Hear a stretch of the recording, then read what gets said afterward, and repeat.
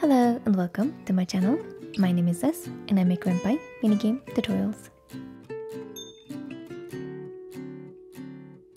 Thanks to all my patrons who keep the channel alive so I can keep making new tutorials. I appreciate it a lot and it's very helpful, so thank you. If you're not already a patron, I have all the tutorial scripts available over there, as well as other interesting scripts not available as tutorials on my channel. In this tutorial, we'll have a look at how to work with Ren'Py's speech bubble system for character dialogues. This is a relatively new feature that was introduced in version 8.1 and 7.6, and I do feel the documentation so far as I'm making this video is a little lacking in certain areas, so I hope it will be informative and helpful for those of you who are looking to use it. So with the speech bubble system, you can have speech bubbles with character dialogues instead of the classic ADV or NVL styles. This is fairly simple to set up and use, and in this tutorial we'll go through how to do that and what the settings are that you can tweak to get different results. To follow along with the tutorial, make sure you have a fresh Ren'Py project in the size 1920 x 1080 pixels using the latest version of the Ren'Py engine. You can also download the image assets used in the tutorial from the description box below. You should know some of the basics of Ren'Py to follow this tutorial, like how to work with images and what screens and labels are, otherwise it will be difficult to follow along what's happening overall. Each part of the tutorial will have a separate script available to download for patrons in the tier supporter, Ohio. There will also be a bonus tutorial and script available in the same tier where I show you how to apply different effects or transforms to bubbles, which I won't go over in this tutorial. With that said, let's get started. As always, make sure you have added the images into the images folder of your project so you can use them in the code. To set up the game to use speech bubbles with dialogue, we'll first need to have some character objects that will use them. In this case, I've set up two characters named Eileen and Mila, and to use speech bubbles for these, we'll use the kind argument and then specify we want the bubble type instead of ADV or NVL. For this to work properly, we also need to specify images to be linked to these characters with the image argument, otherwise we'll get errors when we run the game. In this case, we have two images in the images folder called Eileen and Mila that Ren'Py can use for these characters. Now that we have done that, let's set up a simple label using these characters as well as the background image.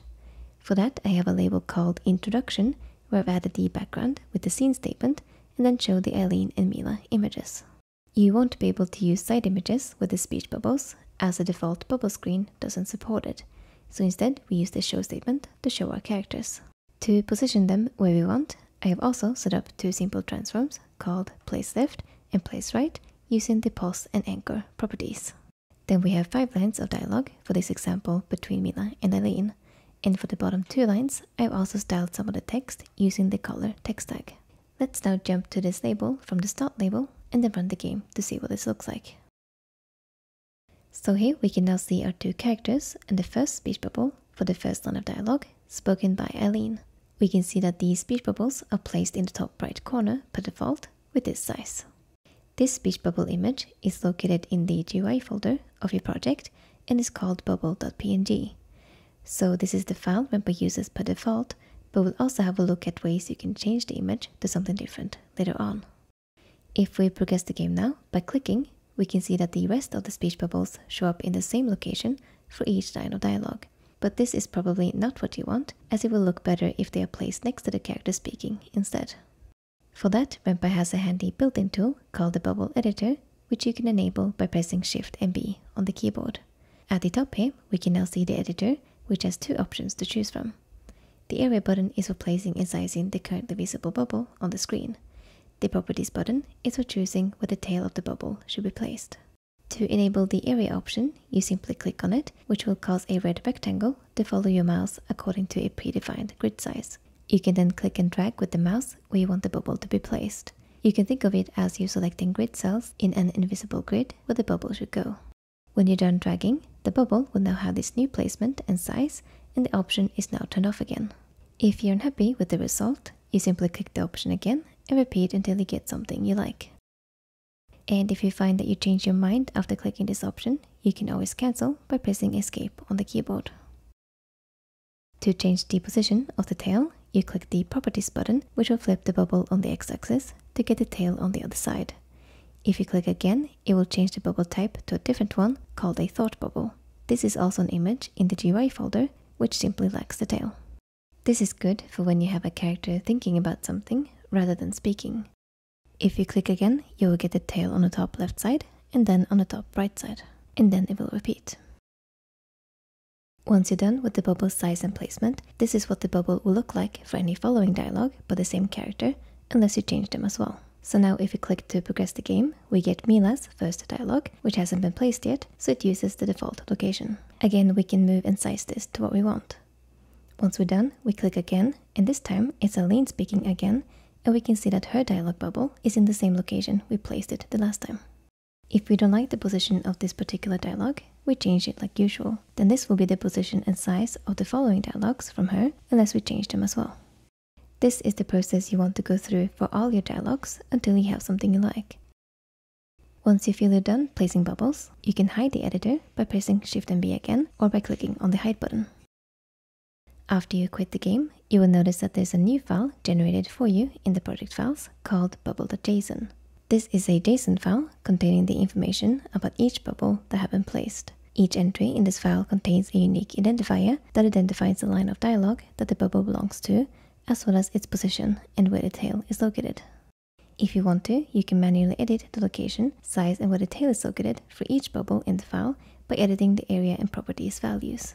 So if you want the first bubble to be placed differently, you can change the x and y values for the area's key values. The values are in the same order as the area property used by displayables, so if you look at the documentation for the area property, we can see that it says the order is x, y, width and height. Then to change the location of the tail, you would change the properties value to the corner you want it in instead. If it's not specified, then Ren'Py is simply using the default location, which is in the bottom right corner. To add it, you would simply add a comma after the square bracket, then write properties, colon, and then the corner you want the tail in instead. And that's about as much that we can change with this file. You don't want to touch the identify key, which is the first thing in each entry. If you change it, Ren'Py will no longer be able to find the dialog this bubble is connected to. You can of course also change the placement, size and tails of each bubble with the bubble editor in the game. Any bubbles you change location and size of will then be automatically updated in the file and any ones you don't change will stay the same as before. And since I want the first bubble to have its tail in the bottom right corner, I'm just going to go ahead and remove this line that I just added, as I just wanted to show you how to do that. An important thing to note is that if you use the scene statement in your game, any new dialogues after it will be using the default placement of the bubble instead of whatever the last placement was for a specific character. As an example, to illustrate this, we'll add the scene statement after the dialogues we have in our introduction label, then show our characters again, and then add a new line of dialogue for Eileen. If we now run the game again and let it progress until Eileen's new dialogue, we can see it's placed in the default location instead of what it was before. So this one will also need to be placed in a new location. We can also change other things to do with the bubble system by using configuration variables, which we'll have a look at next.